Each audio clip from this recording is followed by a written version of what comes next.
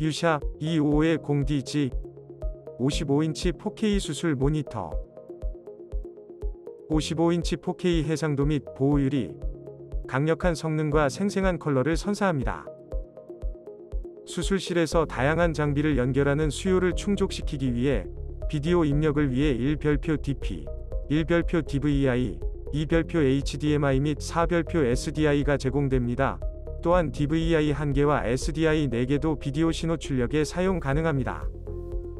모니터는 고급 의료급 디스플레이 패널을 채용하였습니다.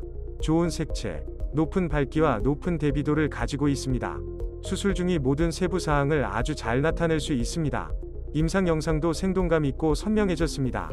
빠른 응답 시간으로 고해상도 수술 영상을 더욱 원활하게 보여줄 수 있으며 그림자나 흔들림이 없습니다.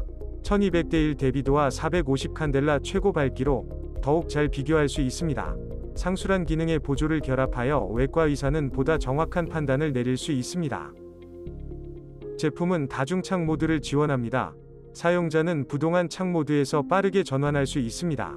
단일 화면 모드, 그림 속 그림 모드, 그림 밖 그림 모드 포함, 좌우 또는 상하 모드,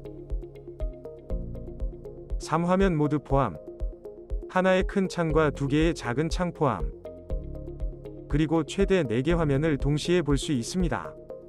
백색 항균 표면 처리는 이 제품을 수술실의 작업 환경에 적합하게 합니다. 청결이 쉽고 수술실 내 다른 장비들과 일치합니다. 표준 200mm 별표 200mm 또는 600mm 별표 200mm 비자 인터페이스를 통해 제품을 받침대 또는 팔걸이에 설치할 수 있습니다. 벽에 박아서 설치할 수도 있습니다. 유샵 25의 0DG 55인치 4K 수술 모니터